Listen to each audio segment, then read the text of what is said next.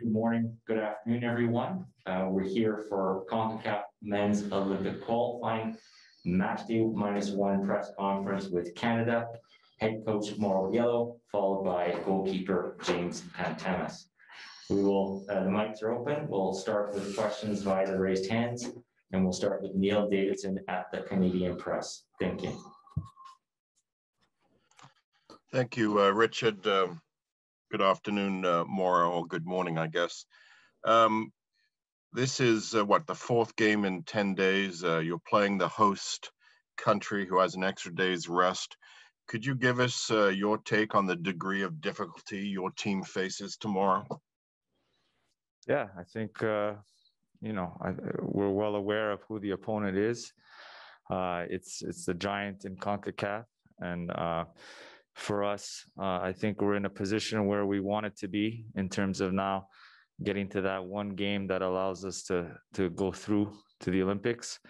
Uh, and we're looking at it uh, as that. It's a one game that anything could happen. We're preparing to play the giant. Uh, and uh, for us, it's all about now uh, you know reducing those spaces denying those spaces for them to operate in and being very uh, specific of how we attack them and how we put them under pressure in different moments. Uh, obviously, uh, you know, we've never won. Canada has never won in Mexico. Uh, but at the same time, uh, it's a tremendous, tremendous opportunity for us uh, to make this happen. Thank you very much. Derek Van Post Media. Hi, Mo. Uh, I just want to ask about the status of Derek Cornelius. Uh, I was just wondering how he's doing and uh, is he going to be ready to go tomorrow? Uh, yeah, we're, we're you know, Derek, uh, he got treatment uh, yesterday. Uh, so it's progressing every day. Today we'll have training. He'll get an opportunity to, um, you know, to test it, to see how it, it reacts under a little bit of stress um, you know, we feel that uh, at this point, eh, we're from the medical team, they're very confident that he'll be available. Um, so hopefully things go well today and that he'll be ready for the game. Thank you very much. We'll go to Adam Jenkins from One Soccer. Thank you very much, Richard, and good morning, Mauro. Uh, I just wanted to ask you about the story that was published yesterday in ESPN. Um, FIFA apparently has opened an, an, investigation against Mexico after anti gay and, and homophobic chants were audible during their game against the Dominican Republic. I'm just curious what, if anything, you have heard from FIFA. It seems as though it's pretty late for them to make a decision that would change who you are playing tomorrow. But um, just what have, what, if anything, have you heard? And have you heard or experienced anything from the fans back in the stands in uh, Guadalajara? No, I haven't uh, haven't heard anything in terms of any type of change changes. Obviously, uh, you know, it's it's a short it's a short period of time uh, for us. We're prepping for Mexico, so uh, we're assuming that it is Mexico and it's on. Uh, so uh, in terms of anything from the fans or the stands, uh, we haven't heard anything uh, like that. Um, so obviously there's an investigation and we'll see how it goes. It didn't happen in our games. So I guess it's uh, it's in FIFA's hands right now. But in terms of the game, we're focusing in on on Mexico and preparing for Mexico uh, at this point. Thank you very much, Sergio Venegas. Hi, good morning, Coach Sergio Venegas from the Portrese. Do you realize how important is the game of tomorrow, and what is the sensation between the team and you for the game of tomorrow? Because you could be one step to the Olympic Games. Thank you very much. Yeah, I think uh, you know we. I had the, we had the meeting and the discussion with the players of how big this is for Canada. Um, you know, we talk about probably one of the biggest achievements in in Canadian soccer history uh, to come through and win this game and and go on to the Olympics, uh, beating the, the best team in, in CONCACAF in their country. Uh, there's no doubt that uh, this, this opportunity is massive. uh, for for the for the team and and for the country. And uh, I think today and tomorrow we we not only represent uh, the team, but we represent a, a country that is behind us. So for us, uh, it's it's you know it's it's great to be in this opportunity. Um, the players are ready to do everything they can uh, to make this happen. And, and and like I said, these these these stories uh, have happened in sports, and it's a David and Goliath story right going on right now. And for us is, is to do everything we can uh, to make this happen. Thank you very much. Manuel Medina. Uh, good morning, coach. Uh, the best uh, defense is playing the best uh, offense of this tournament. How do you expect uh, tomorrow's game to actually play out? Thank you. Yeah, look, uh, when you when I look at this uh, Mexican team and that front line, uh, I'm very familiar with the front line in terms of Antuna, Alvarado. Um, you know, we had to play against them in the Gold Cup, and they did well against us with the first team. So we're well aware of their qualities, um, you know, their ability in the one v ones and and how they could provoke and, make things happen. Uh, Cordova, Rodriguez, again, two very good players uh, that really play well between the lines and really operate their movements uh, coming into the box late.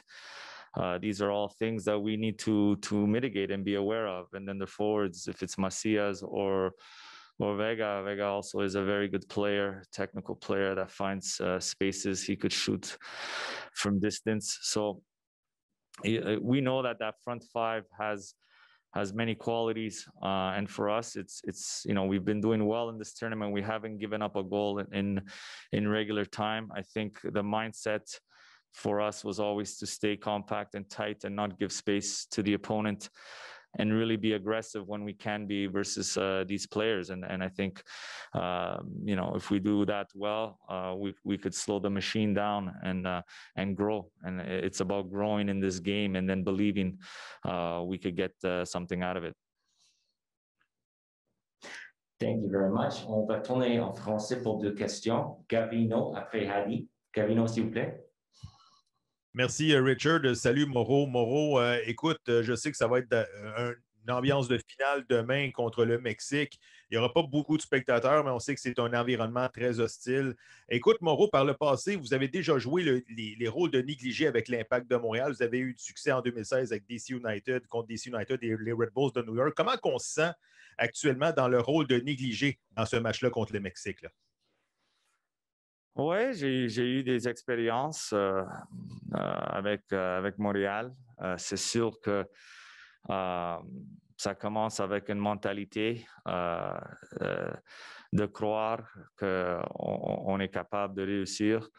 Et avec ça, ça va pousser, ça va pousser tout le monde dans, dans la même direction. Et si je, si je me rappelle euh, le, match contre Club America en 2015 euh, à Azteca, et euh, c'était 1-0. Je pense que le plan de match de, ce match était extraordinaire.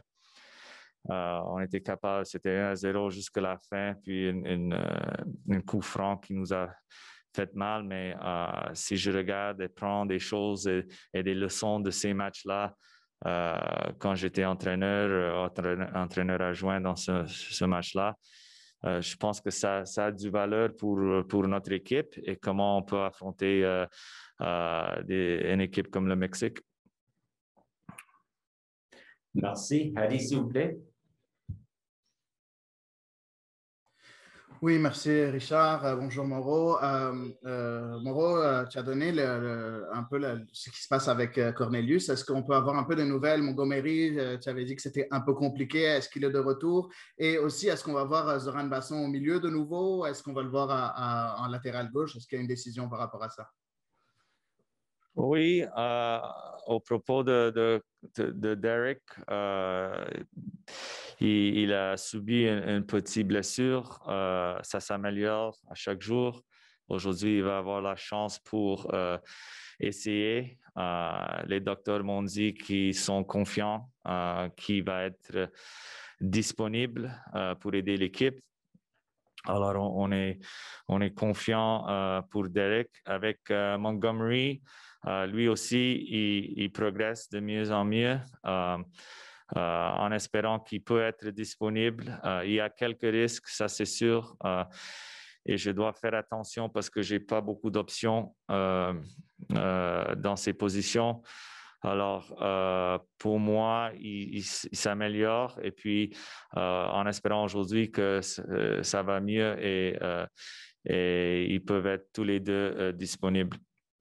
Avec Zoran, oui, on l'a mis au milieu de terrain l'autre jour pour aider appliquer cette pression sur les côtés. Euh, quand on animait en, en, phase défensive, il était comme une, une, euh, une milieu gauche. Euh, alors, quand on animait avec le ballon, il était plutôt au milieu. C'est sûr que on peut le voir, on peut le voir comme latéraux. on va finaliser tout ça quand je sais, quand je vais avoir plus de clarité en les joueurs qui sont disponibles. Euh, on va prendre ces décisions-là. Mais c'est sûr qu'avec Zoran euh, sous le côté, euh, il peut amener quelque chose pour nous. Et on va prendre cette décision quand j'aurai plus d'informations. Merci beaucoup. Uh, on va tourner three questions, next three questions in English. John, followed by Derek and Neil. So John Molinaro, please. So, hi, Mauro. Thanks for taking the time to speak to us. Um, what have you made of Mexico at this tournament thus far, and what sort of problems do you envision them giving you guys tomorrow? Yeah, for me is the the thing that um, impressed me the most is just their their transition game is uh, is really at just another level. Uh, when they lose the ball, they recover it uh, quickly. Uh, but their their speed to get forward in transition to really hurt you now um, in, in, those in, in those moments. And for me, what I take out of it is that you can't give them that space, and and sometimes uh, it's in that chaos that you could get hurt by a team like Mexico, where they'll really take advantage of you know a, a team in transition where they're not balanced. So for us, it's it's about having that balance all the time. Uh, that there's always somebody there. They're not they're not attacking that space, or they're not in isolation. Uh, so we need to to make sure we do a good job at that because um, you know they're a team that's going to make you this going to make you pay. You saw the Americans in the game against the Americans; they were able to. Um, you know, one mistake out of the back and and it was in in in behind and in the back of the net. So they have that quality uh, for sure. They have that experience but for us it's uh it's all about space and not giving it to them um, and then executing for us on the other end. We need to execute in those moments uh, when we have those opportunities and uh, and really manage that momentum the best we can in this game. Thank you very much derek. Well, i'm good richard. Thank you. Thank you. Neil davidson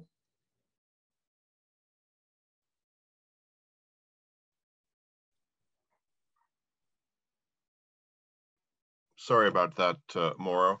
Uh, you've brought uh, Lucas Dias on about the same time in all three of the first three games. Um, what's your rationale behind that, and, and what do you think he gives you when you bring him on? Yeah, I think uh, you know uh, with with Lucas, uh, you know, in terms of our pre-camp, we've had some players in isolations and some of our protocols, and missed a lot of training uh, throughout the week in the pre-camp. Uh, and we really wanted to now bring him into the games and give him give him some minutes. But uh, you know, for us, it was important um, to not uh, just throw him in into games uh, without uh, without too much training because of some of the some of the protocols. So now we feel that he's gained experience. He's got a taste of of uh, what. Uh, what it feels like in these international games. We saw what we what he could do.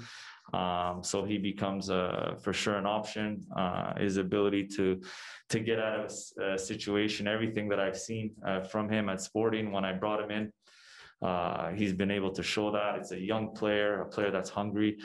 Uh, and like I said, you know, uh, in terms of some of the circumstances that happened, uh, but now we feel he's gained enough of, uh, of minutes uh, to, to be ready possibly to start. Thank you. Alexander? Uh, thanks, Richard. Uh, hi, Mauro. Thanks for, for doing this. Mauro, the, the ball is round and anything can happen. Uh, this one could even go all the way. Have you been practicing penalties? Yeah, I think we we need to be ready for everything, and uh, for sure, uh, we have to be ready for that situation, just like any other situation that could arise. I think as a coach, you want to prepare and make sure the players are ready uh, for every situation, and and that's our job as a staff to bring that clarity. And PKs is is a possibility and uh, we need to uh, you know prepare for those moments and and get this team uh, uh as ready as they can be uh, for for everything that that could happen in this game. Thank you. Good luck. Thank you. Thank you. And we'll take the last question from alexander. Hey Mauro. Um ever since maybe that first half against El Salvador, chances have kind of been hard to come by goals as well. You're going to need goals tomorrow against Mexico. How's the game plan to break down their tough to, to, to break down defensive line? Yeah, I think for for us, it's you know all about attacking uh, spaces, whether it's in a transition moment or whether it's in our AO and, and some of our structures. And I think what's what's been missing is is is just some timing, uh, our timing of some of our movements when we're on the ball, and getting that execution uh, right. You know, uh, if I if I think of the Haiti game, you know, when you when you go back and you look at the tactical footage. You really see that the spaces were there, but the timing was off, or the ball was a bit too long, or the quality wasn't there. And I think uh, you know, it has to come together in a game like uh, versus Mexico because the chances won't be there. And and sometimes it's it's these little details of reading the cues early enough, um, you know, getting the timing right, and then you know the execution of it. Uh, I think the players know the structure. Um, they know what the movements are and and and in the end, if we're able to get that right in the right moments uh, to attack those spaces, then we're going to create chances. And uh, I think that's uh, that's that's the idea versus them.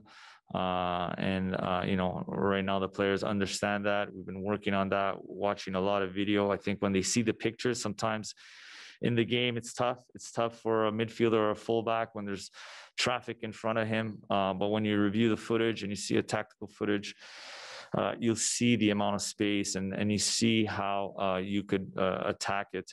Uh, but if you you know if you visualize it, you see it. Then when it comes game time, uh, you know it's there, and it's just about getting that timing right to to get in behind and create those chances. Thank you. We'll continue with CONCACAF Men's Olympic Qualifying Press Conference Match Day Minus One with Canada goalkeeper James Pantemis. Uh, we've got the hands raised uh, electronically. So we'll start to take questions both in English and then in French. We'll start with Neil Davidson at the Canadian Press. Thank you, Richard. Hello, James. Your coach talked about how your team is facing the giant of CONCACAF uh, tomorrow. What is the mood of the players going into the game against the host team? Yeah, I think uh, he said it exactly how it is, right? We're playing against host nation, the favorites, but that just gives us a, a little bit more motivation to take down the host in their country, right? Uh, we'll be going into that game, obviously knowing we're the underdogs, but we're going to feed off that. And uh, I think it would be a fantastic story, not only to qualify for Olympics, but to take down the host. So that's what we'll be looking to do. Thank you. Thank you very much. Derek?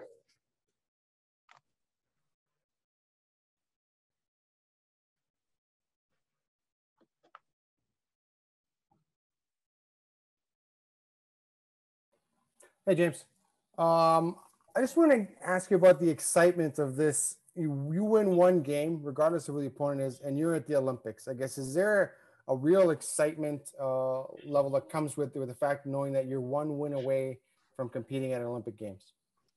Yeah, of course there is. I think um, just the fact that we've been put into this situation, this opportunity to represent uh, Canada at the Olympics is something that I'll be honest, I don't think I ever dreamed about. And uh, we we spoke about it last night. Uh, generally, football players dream of the World Cup, and uh, as an uh, Just hold there for a quick technical.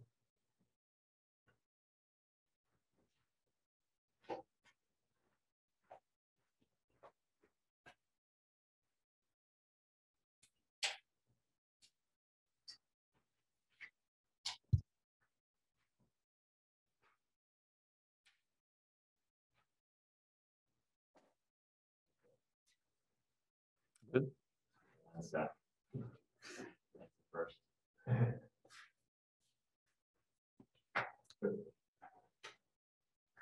Apologies for that, and uh, James will continue the answer. Uh, yeah, well, I guess I'll restart it just in case. Um, yeah, the we have an amazing opportunity in front of us, right? Um, being able to qualify for the Olympics is something, like I said, um, I don't think I've ever dreamed about it because my initial dream, and I think any footballer's dream would to would be to qualify for the World Cup and play in the World Cup. But an athlete's dream is the Olympics. That is the highest competition possible and the most prestigious tournament for them. And I think just the fact that we're 90 minutes away from it, um, regardless of the team that we're, we're facing, it's just one game, 90 minutes. And I have a feeling that if we put everything out there, we leave it all out, um, guys are playing for each other, working together. We have a, we have a chance to to make history and and make the country proud. So that's what we'll be doing uh, tomorrow. Thank you very much, Derek. We'll turn now to Adam Jenkins. Thanks, Richard, and good morning, James. It's I actually wanted to get that previous question in, so I'll ask if you could just maybe take it a step further. When you think about being an Olympian, just to just to be able to have that forever associated with your name and your team, um, do you let yourself think about what that experience might be like, and and do you look back on some of the incredible achievements that the women's side has made, and and just if you could speak a little bit further on what being an Olympian would mean to you and your teammates.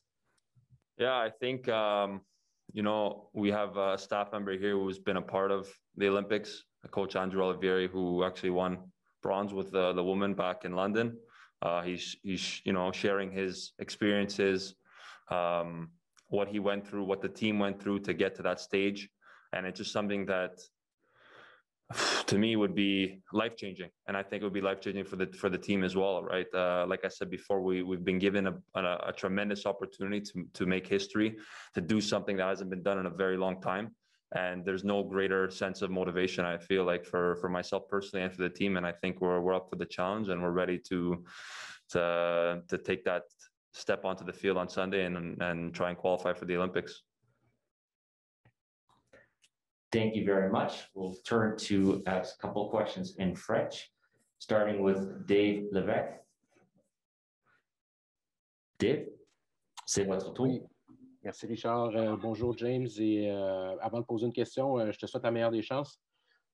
J'espère que ça, ça, fonctionne pour vous les gars. Question super simple, puisque tu es, bien placé pour voir tes gars travailler en défensive.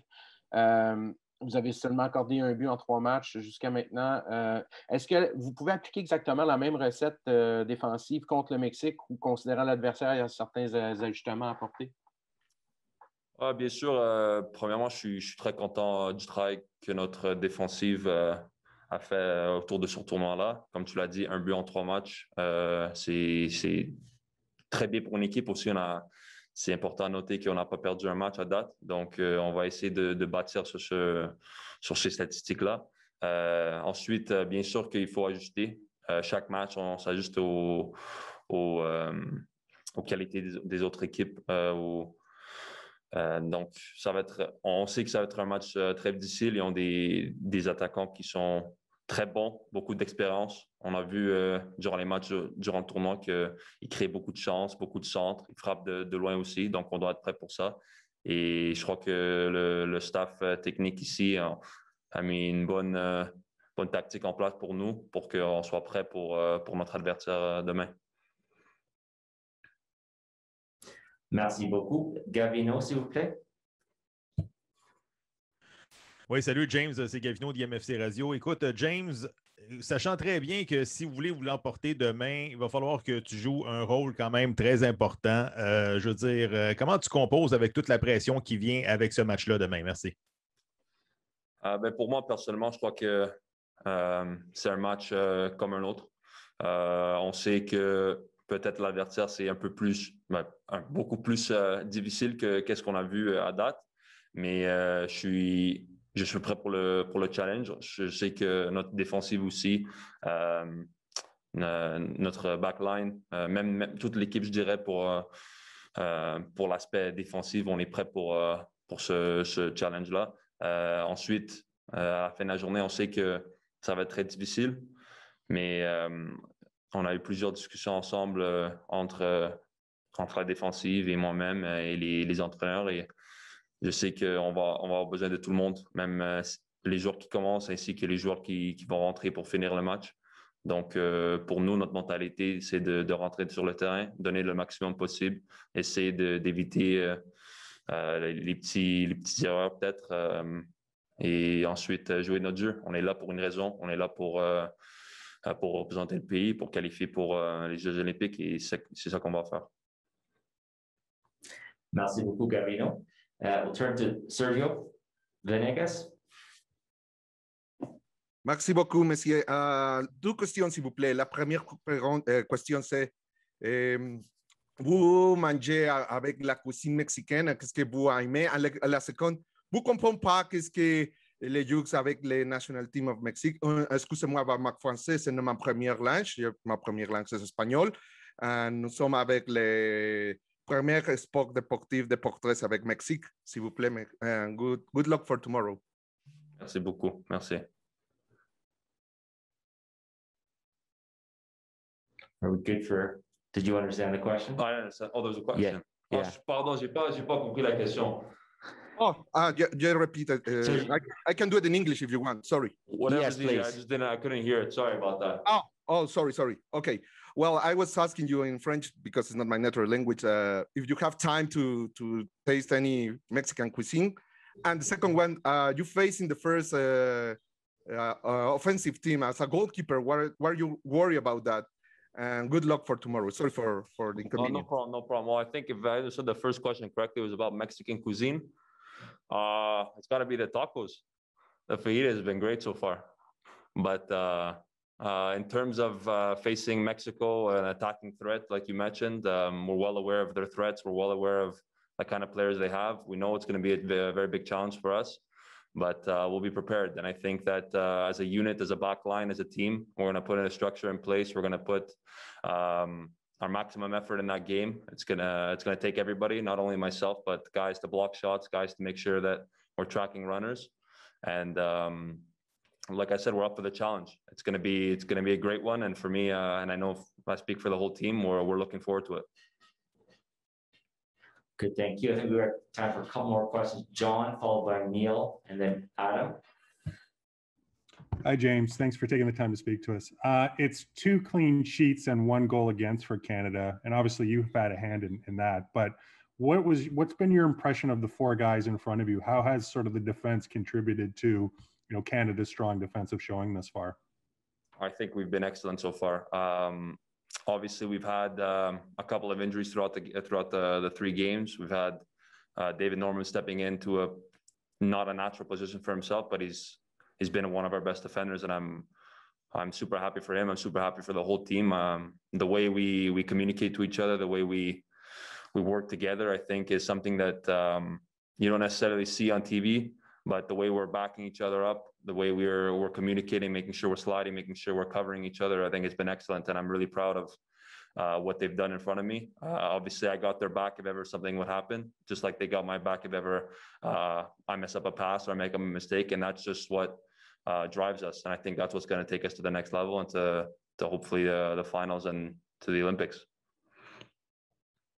Thank you very much. Neil Davidson. Thank you, Richard. James, it's it's unusual to have uh, the under 23 team and the uh, the senior team playing at the same time in big competitions. Obviously, you've been following. I'm sure you you and your teammates have been following uh, John Herdman's team as closely as you can. Has there been any interaction between the two teams? Yeah, of course. I think uh, uh, we feed off each other, right? Uh, obviously, we have a relationship with certain players, whether it's from club or just coming in together in cap and country. And uh, we both know what's at stake for both our programs. They're working towards a World Cup qualification. We're working towards uh, Olympic qualification. And uh, even the, the slightest of messages that is relayed either tomorrow or um, to John, and then the players speaking to each other on their own. And I know now that we both have our, our final games. Um, well, they have their final game in the qualification, and we have our our deciding game for us. Um, the messages are there, the motivation is there, and we're all behind each other, right? And once again, like I mentioned at the beginning, we feed up each other's results. We've seen Canada pull up, uh, put five past Bermuda. Uh, I I believe they'll play before us again. Um, before our semifinal, and we'll be aware of the score. We'll know what they did, and we're going to look to to build on that and make sure we we go two for two in the wins. Thank you very much, and we'll wrap up with Adam Jenkins.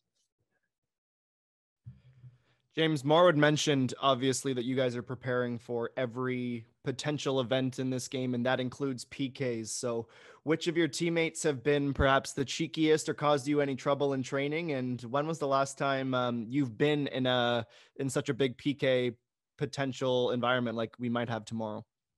Uh, in terms of sharing, I'll just keep that to myself in case anybody's watching at the time. But uh, uh, no, there's guys are guys are will be ready for it. Right? We take shots at training. Um, uh, there's a couple of guys that asked me to stay back, or the other keepers as well, to work on that. We've been working on it from the beginning, and I know that um, if it comes to that, they'll be up for it.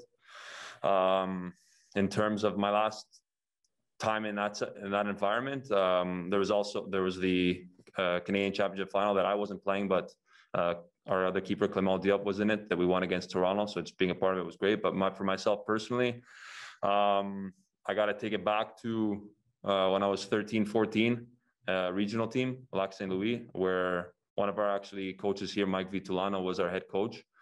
And uh, it was Lac St. Louis against Concordia. Once again, we were the underdogs. No one expected us to be there. No one expected us to go to toe to toe with them. I ended up going into the shootout. Uh, we won, I believe, 4 2. Uh, I was lucky enough to save two of them. And if it ever comes to that point again today, um, I'm confident. I'm confident in myself. I'm confident in my in my players' ability to to put the ball in the back of the net. And um, yeah, that's it.